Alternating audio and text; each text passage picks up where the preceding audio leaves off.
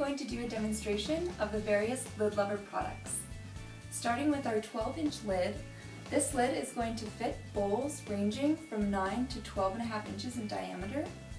So all you have to do is hold it kind of like a pizza pan, figure out which groove is going to work best for your bowl, and since it's made of this stretchy silicone, you can simply snap the lid lover lid over the edge of your bowl. Just stretch it right over.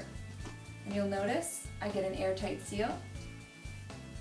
And for this bowl, we use the outermost groove of the lid lover lid. Um, but again, this is going to fit any size bowl ranging from 9 to 12 and a half inches in diameter. So let's take a look at our 6 inch lid.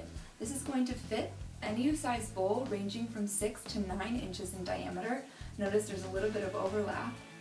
So again, I'm going to hold the lid like this, figure out which groove is going to work best for my bowl. It's going to be one of the inner grooves. And again, I can just stretch my lid right over the bowl to get an airtight seal. This bowl, you notice that we used one of the inner grooves of the lid lover lid. Next, we have our 5 inch lid. This is going to fit bowls ranging from 5 to 7 inches in diameter the same concept.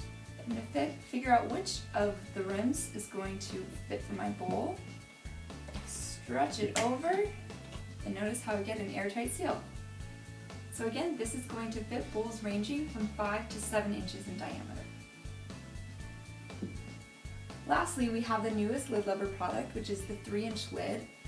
And to properly use this, you're going to flip up the outer edge of the lid, place it within your container of interest, and snap the edges right over the sides.